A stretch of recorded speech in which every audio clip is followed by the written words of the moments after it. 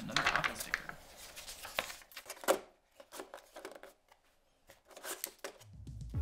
So the M2 Mac Mini has been out for a few weeks now, and I wanted to take you guys through the experience of using it as someone that's been used to using the M1 Max MacBook Pro for about six months now. Now I actually already shot this entire video and, and it was extremely boring. Now I don't know if it's because I was sick and I needed to recover and I was just falling asleep or if the video was just so boring that I fell asleep and I felt like I needed to reshoot the entire thing so here we are. In the back you got the ports, all the ports that you need. You have a port for power, you have a port for ethernet, you have two Thunderbolt 4s, and HDMI, and two USB-A ports, as well as a headphone jack. Pretty much everything you need, and then you also have the grill for the fan right over here. Now this is kind of crazy that, you know, they managed to make something this small. And you know, this is not a new form factor.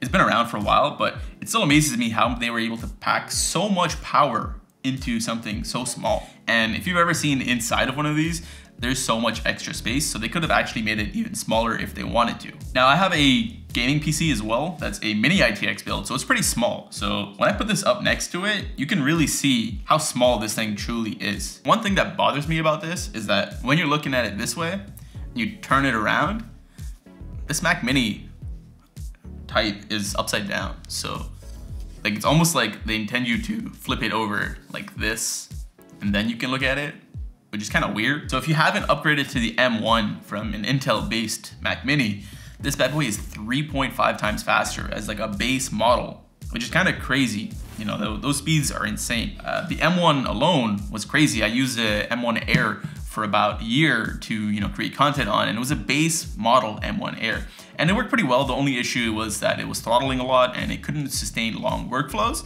but since this guy has a fan built into it I do think that this will be pretty good in terms of performance. 1080p, big chilling. If you're looking at 4K, depending on how your workflow is, your file sizes, you know, all that stuff, a little bit trickier. So setting it up is an absolute breeze. You know, it's just the basics where you need to get some power. Once you're done that, you just need to get yourself a keyboard and a mouse. In my case, I have the full-size Magic Keyboard with Touch ID. Touch ID is an absolute game changer makes your life a lot easier when you're doing things like popping passwords in. Now that's something I got used to from using a MacBook where Touch ID is built into the actual computer. Now if you don't want to go for the Magic Keyboard with Touch ID, you can always go for the one without it.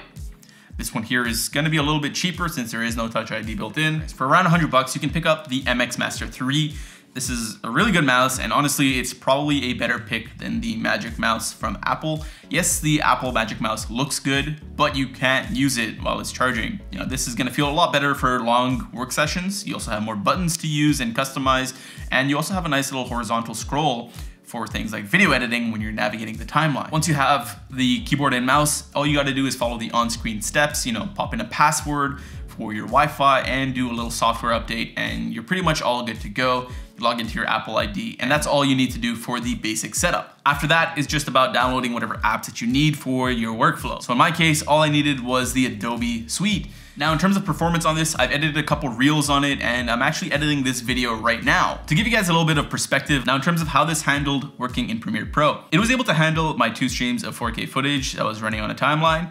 And in terms of cutting a video, it worked really well, but now we just gotta look at how it performs in an export. So I have the version that's literally never gonna see the light of day on both of the computers, uh, on the M2 Mini and on the M1 Max MacBook Pro. I'm gonna run a quick export just so you can compare between the two and see how fast they are. And I'm just gonna use the YouTube 4K preset. Obviously the M1 Max is gonna be way better, but I just wanna see how they compare between the two, considering the price difference. And this is like a real project that I would export. Right away, it's telling me it's gonna take about 10 minutes on the M2 Pro and three minutes on the M1 Max. So that's a pretty big difference in terms of how fast it'll be. And we have the timer going just to uh, benchmark the two. So while we're waiting for this Mac Mini to finish exporting, the M1 Pro has been done for about like five minutes now, and this is still chugging away. There's a minute left on the timer. And I just wanted to say, like, you know, this thing has taken quite a bit of time to finish the export, but compared to what there was out there, like with the Intel chips, this is pretty fast. So for the M1 Max on the MacBook Pro, it took about four minutes, and that's blazing fast. Uh, M2 Pro finally clocked in at 11 minutes and 10 seconds. I think that's more than enough in terms of render speeds. You have a really good speed at that rate. And like, keep in mind, $4,500 MacBook Pro, $600 Mac Mini. Like, it's, it's not really comparing apples to apples. So I'm happy with that speed. And anyone that's looking to edit videos, should be happy with that as well. So working in Lightroom, perfectly fine. Uh, going through your photos, doing any adjustments, works seamlessly, AI masks, everything. oh boy. Uh, the only thing is exports are a little bit slower than the M1 Max, but it's to be expected. So for most people, this is definitely more than enough. There are a few upgrades that I recommend if you want something just a little bit more powerful. So let's get into that. So you're definitely gonna want to upgrade the SSD because at 256 gigs, you do have the slower SSD because you're only using one of the two slots inside the Mac Mini.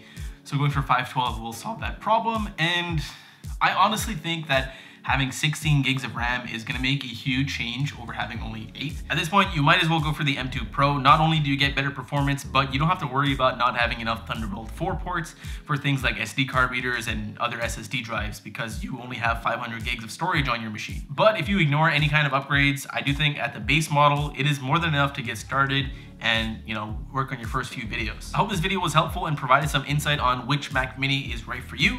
If you guys enjoyed, make sure to like and subscribe and I will see you later. Peace.